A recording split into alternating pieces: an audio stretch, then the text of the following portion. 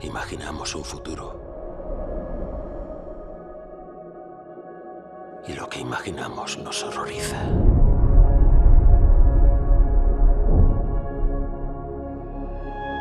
No la temerán.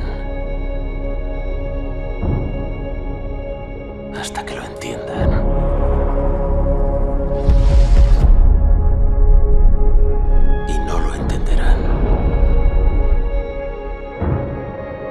La hayan utilizado.